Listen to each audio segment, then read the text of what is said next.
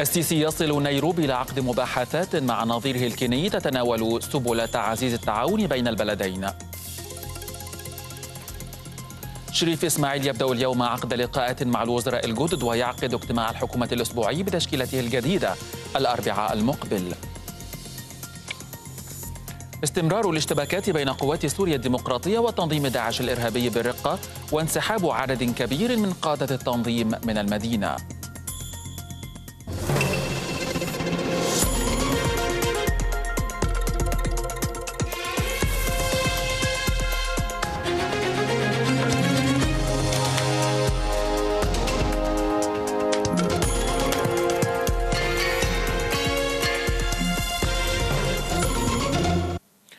العاشرة صباحا في القاهرة الثامنة بتوقيت غرينتش موعد نشرة إخبارية جديدة من قناة النيل. أهلا بكم. وصل الرئيس عبد الفتاح السيسي اليوم إلى نيروبي في زيارة تستغرق يوما واحدا وهي الأولى التي يقوم بها الرئيس إلى كينيا. وصرح السفير علاء يوسف المتحدث الرسمي باسم رئاسة الجمهورية بأن الزيارة جاءت تلبية لدعوة الموجهة لسيادته من الرئيس الكيني. هذا ومن المقرر أن يجري الرئيس محادثات مع نظيره الكيني أوهورو كينياتا. تتناول سبل تعزيز التعاون بين البلدين لا سيما على الصعيد الاقتصادي وسبل مكافحة الإرهاب. هذا ومن المقرر أن يعقد الرئيس ورئيس كين والرئيس كينياتا مؤتمرا صحفيا مشتركا عقب المباحثات.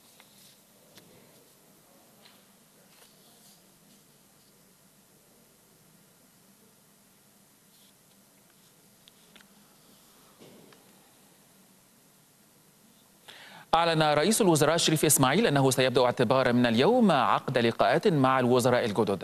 وأشار إسماعيل إلى أنه سيتم عقد اجتماع الحكومة الأسبوعي بتشكيلته الجديدة. يوم الأربعاء المقبل تمهيدا لإعطاء فرصة للوزراء الجدد لدراسة الملفات الهامة بوزاراتهم. كان الوزراء الجدد والمحافظون الجدد قد أدوا اليمين الدستورية أمام الرئيس عبد الفتاح السيسي.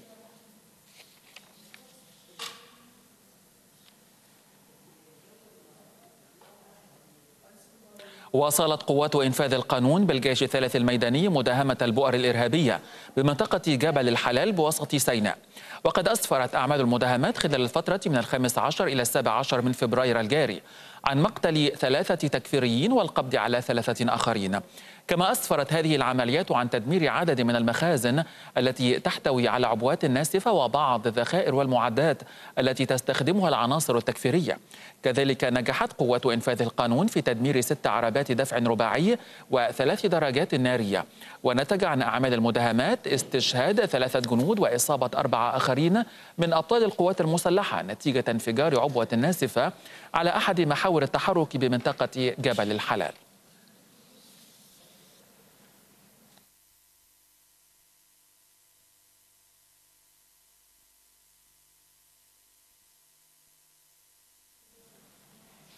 وبالعودة إلى خبر زيارة الرئيس عبد الفتاح السيسي إلى نيروبي معنا هاتفيا من هناك موفد التلفزيون المصري الزميل شريف فؤاد. شريف بعد التحية.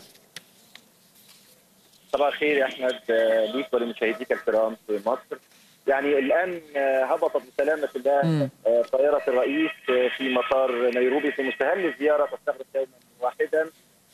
هناك اهتمام بالغ الحقيقة بهذه الزيارة سواء من الجانب المصري أو من الجانب الكيني. تعلم إنه هناك علاقات متميزة عبر التاريخ تربط البلدين. كينيا بلد مهمة بدعم الاستقرار والسلام والتنمية في إفريقيا. ومن هنا كان حريص الرئيس عبد الفتاح السيسي في اطار توجهاته في يعني علاقات متميزة مع كل دول القارة ودول حوض النيل خصيصا. التقى الرئيس اوهورو كينياتا رئيس كينيا قبل أسبوعين على هامش القمة الإفريقية في أديس أبابا. واليوم يقوم بزيارة أيضا لتعزيز العلاقات الثنائية بين مصر وكينيا، هناك وفد رفيع المستوى يصحب السيد الرئيس ومكون من وزير الخارجية بالطبع السيد سامح شكري، أيضا وزير التجارة والصناعة المهندس طارق قبيل، وزير الري الدكتور محمد عبد العاطي بالإضافة إلى الوزير خالد فوزي مدير المخابرات العامه وعدد من المسؤولين والسيد رئيس ديوان رئيس الجمهورية، من المفترض أن تستمر الزيارة ليوم واحد، ستجرى مباحثات موسعة بين الوفدين إضافة إلى جلسة ثنائية بين الرئيس عبد الفتاح السيسي والرئيس أوهورو كينياتا رئيس كينيا. كان في استقبال الرئيس لدى وصوله إلى مطار وزير أمينة محمد ووزير الزراعة ويلي بيت.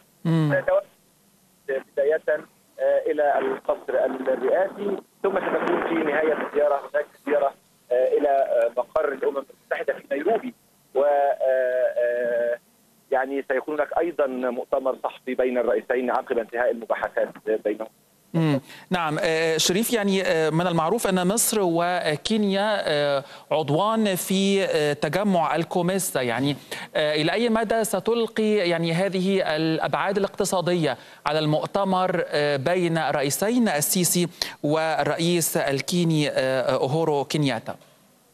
هناك اهتمام بالغ أحمد بالجانب التجاري والاقتصادي بين البلدين خاصة أن حجم التبادل التجاري يبلغ حوالي 568 مليون دولار. هذا الحجم لا يرقى إلى المقومات التي تملكه البلدان في هذا الإطار. ومن ثم هناك رغبة حقيقية لدى الدولتان إلى تنمية وتعزيز التبادل بالشكل الذي يليق بمكانة البلدين وبالتالي يعني هناك رغبة حقيقية أيضا من قيادة الدولتين على تعزيز التجارة ولعل هذا الأمر يعني ينعكس بوضوح في يعني وجود المهندس طارق قبيل وزير التجارة والصناعة في الوفد المرافق للسيد الرئيس أحمد. نعم، أشكرك الزميل شريف فؤاد موفد التلفزيون المصري إلى العاصمة الكينية نيروبي.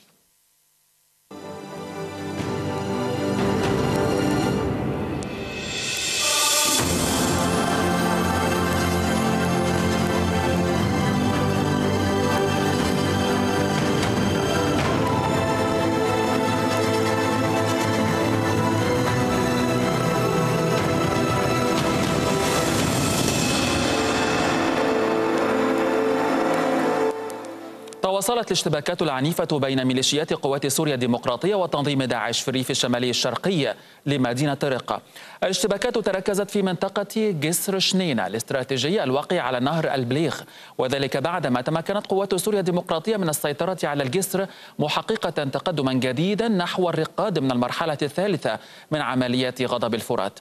كان قادة تنظيم داعش الإرهابي بدأوا يغادرون مدينة الرقة السورية على وقع تقدم قوات سوريا الديمقراطية التي يدعمها التحالف الدولي. أعلنت لجان التنسيق المحلية السورية أن حصيلة ضحايا الجمعة جراء القصف والاشتباكات في أنحاء متفرقة من البلاد بلغت 56 شخصا من بينهم 13 طفلا و تسع سيدات وتعرضت مناطق في أرياف دمشق وحلب وحماة وحي الوعر في حمص للقصف مع اشتباكات في مدينة درعا وريفها. يأتي هذا فيما استعادت القوات الحكومية السيطرة على إحدى القرى غربي مدينة تدمر بعد معارك عنيفة مع مسلحي تنظيم داعش وسقوط قتلى في صفوف مقاتليه. أكد وزير الخارجية الألماني توافق الدول التي شاركت في اجتماع بشأن الأزمة السورية في مدينة بون الألمانية على ضرورة حل الأزمة تحت رعاية الأمم المتحدة. وعقب الاجتماع الذي عقد على هامش مجموعة العشرين أكد المشاركون على دعمهم الكامل لاعتماد الحل السياسي كحل أساسي للأزمة السورية. وكذلك ضرورة استئناف مفاوضات جنيف بين أطراف الأزمة والتي من المقرر أن تعقد الخميس المقبل. اجتماع دبلوماسي جديد حول الأزمة السورية عقد في مدينة بون الألمانية على هامش اجتماعات مجموعة العشرين. ضم عددا من الدول الغربية والعربية الداعمة للمعارضة السورية. وخلال مؤتمر صحفي عقب الاجتماع أبدى وزير الخارجية الفرنسي والألماني انطباعات إيجابية بعدما حصل على تأكيدات من وزير الخارجية الأمريكي ريكس تيلرسون على دعم جهود الأمم المتحدة في مفاوضات جنيف بين طرفي النزاع السوري. انقضت بضعة أسابيع منذ أن التقت مجموعة العشرين لآخر مرة وكانت ضرورة لنا بعد تسلم إدارة جديدة وفرصة لتبادل وجهات النظر مع زميلنا وزير خارجية الأمريكي. وأعتقد أن اللقاء كان مهما ويشكل أداة هامة لإجراء حوار وثيق مع الولايات المتحدة بشأن القضية السورية وقضايا أخرى كثيرة. كما أعرب الوزيران عن أملهما في أن يتمكن الدبلوماسيون من إحراز تقدم خلال المحادثات المرتقبة الأسبوع المقبل حول سوريا في جنيف. Um المفاوضات اليوم هامة لتنسيق تحركاتنا لأننا نتوقع دخول عملية سياسية جديدة مع استئناف المحادثات في جنيف. ولكن في الوقت نفسه نحتاج أيضا لأن نكون واقعيين جدا حول هذا الموضوع. ويخشى الغرب أن ينصرف الاهتمام الدبلوماسي حول الملف السوري من مفاوضات جنيف برعاية الأمم المتحدة إلى مباحثات أستانا التي ترعاها روسيا وتركيا وإيران في كازاخستان. تستعد القوات العراقية التي استعادت الجانب الشرقي من الموصل الشهر الماضي لشن هجوم قريب على معاقل الإرهابيين في القسم الآخر من المدينة. كانت الأمم المتحدة قد حذرت من كارثة إنسانية وشيكة في الشرق الغربي من مدينة الموصل بعد أن أصبح إدخال أي إمدادات غذائية لهذا الجزء من المدينة أمرا مستحيلا في ظل تواصل معارك التحرير. معركة تحرير الموصل لا تزال مستمرة ومعركة الفرار من أحيائها أيضا لا تزال مستمرة. من يتمكن من الفرار يبحث عن ملاذ آمن في مخيم من تلك التي أقامتها السلطات العراقية أو الأمم المتحدة أو حتى منظمات الإغاثة لكن ماذا عن من بقوا؟ النصف الغربي من المدينة لا يزال أغلبه تحت سيطرة داعش والعمليات الحربية خلفت أزمة غذاء حادة ننام جوعانين. هاي ما نحكي. ننام جوعانين تعبانة حالتي ما جوعان. اشق لهم روح الجيران عيب حتى عيب واحد يروح يقول للجيران نام جوعانين. الأوضاع ازدادت سوءا خلال الشهرين الماضيين وتحديدا بعد إغلاق الطريق الرابط بين الموصل وسوريا على يد جماعات مسلحة تابعة للحكومة. حتى أنه لم يبقى أمام الأسر إلا أن تكتفي بالخبز والماء. نازح آخر من سكان غرب الموصل. نجح في الوصول إلى مخيمات النزوح في الشطر الشرقي المحرر من المدينة. أكد أن من بقوا في الأحياء الغربية لا يجدون حتى الخبز. يعني ماكو لا أكل ولا شرب. يعني عالم يعني خبرتهم يعني يعني خبرتهم كل شيء ما عندهم. لا أكل لا شرب لا طحين لا كل شيء. بطاطا بس بطاطا فجر بس بطاطا فجر موجود بال اسمه بالجانب الايمن وحيل تعبانين. يعني استندروا جماعة تحرير يريدون يحررهم. يعني نريد من القوات الأمنية أن نستعجلهم بتحريرهم. هم حاليا ميتين من الجوع. الأمم المتحدة من جانبها تقول إنه حتى بداية النصف الثاني من شهر يناير الماضي أي منذ ما يزيد على الشهر كانت الأغذية لا تزال متاحة في غرب الموصل وإن تراجعت كميات شحنات الغذاء وذلك بسبب نقص التمويل. مياه الشرب والوقود أيضا شحيحان لدرجة الندرة. والآن بات إدخال أي مساعدات إنسانية من أي نوع للشطر الغربي حيث يقيم حوالي 750 ألف شخص. بات ضربا من المستحيل. ينطلق غدا بالعاصمة التونسية اجتماع وزراء خارجية دول الجوار الليبية بمشاركة وزير الخارجية سامح شكري. وصرح وزير الخارجية التونسي خميس الجهيناوي أن الاجتماع سيشارك فيه أيضا وزير الخارجية الجزائري عبد القادر مساهل. لوضع مجموعة من التوصيات ترفع إلى رؤساء دول الجوار. يأتي الاجتماع في إطار مبادرة دول الجوار لحل الأزمة الليبية وتعقبه قمة على مستوى الرؤساء. بمناسبة ذكرى الثورة الليبية أكد رئيس المجلس الرئاسي الليبي فائز السراج أنه أن يده لا تزال ممدودة لجميع الأطراف للحوار والتصالح والتسامح مشيرا إلى حرصه على ألا يكون طرفا في الصراعات العسكرية.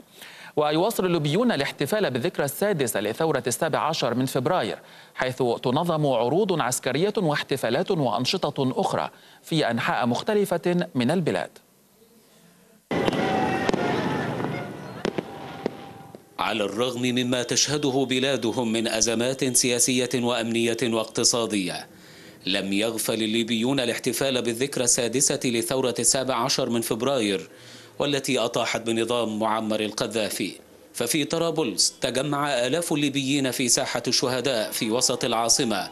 في ظل إجراءات أمنية مشددة اتخذتها القوات الأمنية التابعة لحكومة الوفاق الوطني. ومن المقرر أن تستمر موجة الاحتفال بالذكرى السادسة للثورة الليبية حتى بعد غد الاثنين حيث ستنظم في أنحاء مختلفة من البلاد احتفالات وعروض عسكرية وأنشطة أخرى.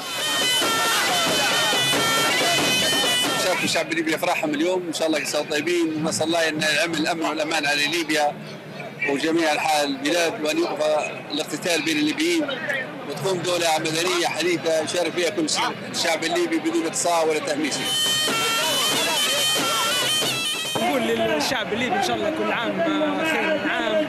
الدورة طلعت نظيفة لكن استغلوها بعض الناس. وإن شاء الله تعم الأمن والأمان وإن شاء الله يرجع على خير لبلادنا إن شاء الله. جدير بالذكر أنه في السابع عشر من فبراير عام 2011 اندلعت الثورة الليبية التي تحولت إلى نزاع مسلح إثر احتجاجات شعبية ضد نظام القذافي. ومنذ ذلك الحين لم ينعم الليبيون بأية ثمار من جراء ثورتهم التي أججت النزاعات القبلية المسلحة.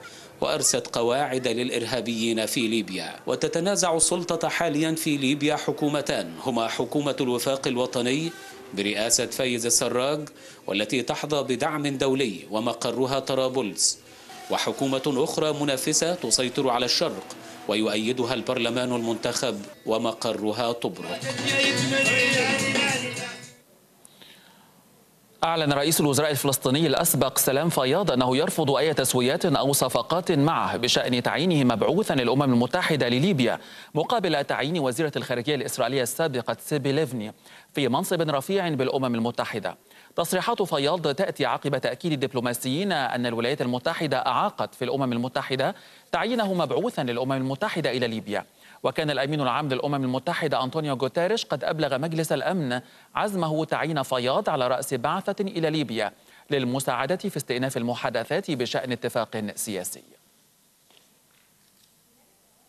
أطلق الرئيس التركي رجب طيب أردوغان حملته استعدادا لاستفتاء السادس عشر من إبريل بشأن تعديل دستوري يوسع صلاحياته كرئيس ويحكم به قبضته على السلطة. في المقابل تخشى المعارضة أن يكرس النظام الرئاسي الجديد الذي يلغي منصب رئيس الوزراء لأول مرة في تاريخ تركيا حكم الرجل الواحد ويعزز نهج التسلط لدى الرئيس التركي. استعدادا للاستفتاء حول التعديل الدستوري الذي يوسع من صلاحياته أطلق الرئيس التركي رجب طيب أردوغان حملته لحشد دعم الأتراك إزاء التغييرات التي يطمح إلى إدخالها في الدستور التركي ليوسع من قبضته على السلطة. فمن مدينة كهرمان مراش شرقي البلاد التي يحظى فيها بشعبية كبيرة انطلقت جولة إردوغان التي ستستمر خلال الشهرين المقبلين لكسب أصوات الناخبين في الاستفتاء المقرر إجراؤه في السادس عشر من إبريل المقبل. Cumhurbaşkanlığı sistemi evet النظام الرئاسي هو مشروعي الخاص الذي لطالما دافعت عنه وأصررت عليه منذ توليت منصبي كعمدة لإسطنبول. لطالما كافحت وما زلت أكافح من أجل هذا النظام الذي أعتقد أنه سيعود بالنفع على المواطنين والأمة. وفي حال إقرار التعديل الدستوري نهائيا في الاستفتاء العام المقرر فستنتقل صلاحيات رئيس الوزراء إلى الرئيس قبل إلغاء المنصب واستحداث منصب نائب أو أكثر لرئيس الدولة وما يروج له الرئيس التركي على أساس أنه في صالح البلاد تؤكد المعارضة أنه سيعزز من نهج التسلط لدى إردوغان. وستؤسس تلك التعديلات لأول مرة في تاريخ تركيا حكم الرجل الواحد عبر السماح له بالبقاء في السلطة حتى العام 2029 وردا على رفض المعارضة التركية للتعديلات الدستورية يرى المحللون أن القادة الأتراك باتوا يتبعون خطابا يقوم على تشويه صورة المعارضين. وتأكيدا لهذا الموقف قال رئيس الوزراء بن علي يلدرم إن ما وصفها بالمنظمات الإرهابية تخوض مجتمعة حملة من أجل حشد التصويت بلا على التعديلات الدستورية. وروجت السلطات التركية عبر وسائل الإعلام الموالية لها أن رفض تصويت الإصلاح الدستوري يصب لصالح الإرهابيين وداعمي التمرد. أعلن الجيش اليوناني أن سفينة عسكرية تركية أطلقت نيرانها في المياه الإقليمية قبالة إحدى الجزر جنوب شرقي بحر إيجا. وقال مصدر عسكري يوناني إن سفينة الدورية التركية غادرت المنطقة بعد تدخل فرقاطة يونانية وتوجيه التحذير للسفينة التركية. وأضاف المصدر أن البحرية الحربية اليونانية ما زالت في وضع المراقبة المكثفة بعد الحادث. موضحا أن تركيا كانت قد أصدرت مساء الخميس بلاغا عن مناورات في المنطقة لكن اليونان رفضته لأنه يشمل منطقة في المياه الإقليمية اليونانية. تتواصل اليوم أعمال مؤتمر ميونخ السنوي للأمن بألمانيا حيث يتحدث نائب الرئيس الأمريكي مايك بنس إلى المشاركين حول العلاقات الأمريكية الأوروبية. خطاب بينس يأتي غداة خطاب مماثل لوزير الدفاع الأمريكي جيمس ماتيس أكد فيه على أهمية العلاقة بين ضفتي الأطلسي والولايات المتحدة والتي اعتبرها الحصن المنيع في وجه انعدام الاستقرار والعنف. وسط قلق من توجهات الإدارة الأمريكية برئاسة دونالد ترامب تستضيف ألمانيا أعمال الدورة الثالثة والخمسين لمؤتمر ميونخ للأمن بمشاركة أكثر من 500 شخصية بارزة من 30 دولة من عالم السياسة والدفاع والاقتصاد من بينهم رؤساء دول وحكومات ووزراء وممثلين عن المجتمع المدني والمنظمات الدولية. نقاشات هذه الدورة يتصدرها ملف العلاقات الأمريكية الأوروبية بعد تولي ترامب السلطة في الولايات المتحدة. وعلاقة واشنطن بحلف شمال الأطلسي الناتو وانعكاسات ذلك على الحرب على الإرهاب والعلاقات مع روسيا فضلا عن التهديدات التي تفرضها كوريا الشمالية والأزمة السورية.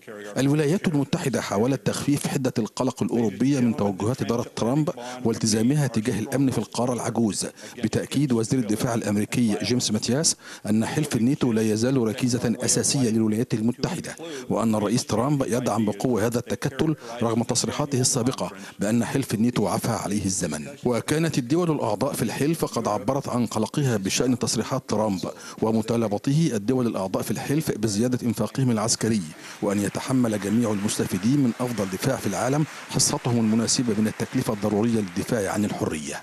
الأمين العام لحلف الناتو يانس ستولتنبرغ أكد أن الحلف لا يزال أساس الأمن عبر الضفتي الأطلسي في أعقاب الحرب العالمية الثانية مشددا على ضرورة الوقوف صفا واحدا في مواجهة التهديدات العسكرية لكنه طالب الدول الأعضاء بزيادة إنفاقها العسكري وتقاسم الأعباء المالية. أنا واثق تماما أن الرسالة التي يريد الجميع إيصالها ستكون وحدة ضفتي الأطلسية وأهمية الوقوف صفا واحدا لحماية بعضنا البعض. وأتوقع من كل الحلفاء وقف التخفيضات في إنفاقها العسكرية والوفاء بما تعهدت به عام 2004 وهو تخصيص 2% من إجمالي ناتجها الداخلية للنفقات الدفاعية لا سيما أن بعض الدول الأعضاء اقتربت جدا من الوفاء بتعهداتها. لكن لا تزال مسألة تقاسم الأعباء المالية محل جدل بين الدول الأعضاء في الحلف وستكون في طليعة الملفات المطروحة للبحث خلال قمة حلف الناتو المقرر عقدها في مايو المقبل في بروكسل بمشاركة ترامب. يشار إلى أن مؤتمر ميونخ للأمن الذي تستضيفه العاصمة البافارية في فبراير من كل عام هو الأهم والأكبر من نوعه في العالم وعقد لأول مرة عام 1963 وينظم تحت شعار السلام من خلال الحوار ويعد منصة مهمة من أجل الأمن والاستقرار العالميين.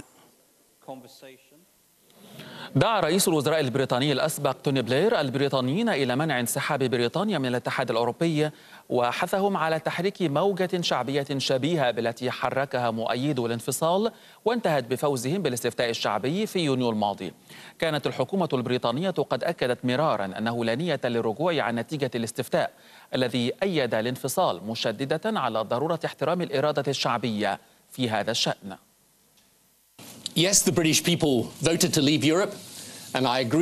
نعم الشعب البريطاني صوت من أجل مغادرة الاتحاد الأوروبي. وأنا أتفق مع أن إرادة الشعب يجب أن تسود. أقبل الآن بأنه ليس هناك رغبة واسعة النطاق لإعادة التفكير لكن الشعب صوت دون معرفة شروط البريكزيت. ومع وضوح هذه الشروط فمن حقهم أن يغيروا رأيهم ومهمتنا إقناعهم بذلك. Our mission is to persuade them to do so. سمع دوي انفجار كبير داخل مجمع السفارة الأمريكية في العاصمة الأفغانية كابل وذكرت مصادر إعلامية أن الانفجار أعقبه إطلاق نار ولم يتضح بعد ما إذا كان قد أسفر عن وقوع ضحايا. وذكر شهود عيان أن أعمدة الدخان يمكن رؤيتها تتصاعد من المبنى المجاور لمقر السفارة. أعلنت الشرطة الماليزية أنها ألقت القبض على رجل يحمل الجنسية الكورية الشمالية في إطار التحقيق في اغتيال كيم جونغ نام الأخ غير الشقيق للزعيم الكوري الشمالي كيم جونغ أون مشيرة إلى أن الرجل الذي أوقف مساء الجمعة يملك وثائق تمنح للعمال الأجانب. يأتي ذلك في الوقت الذي أعلنت فيه ماليزيا إجراء تشريح ثان لجثة الأخ غير الشقيق لزعيم كوريا الشمالية والذي اغتيل في مطار كوالالمبور ويحاول جهاز الطب الشرعي بماليزيا كشف ملابسات عملية الاغتيال التي استهدفت كيم جونغ نام ونسبت إلى عملاء لكوريا الشمالية.